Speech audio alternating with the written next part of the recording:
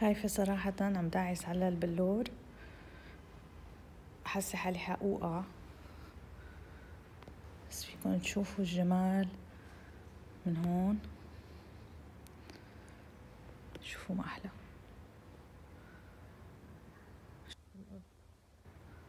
كيف كانت أيام زمان؟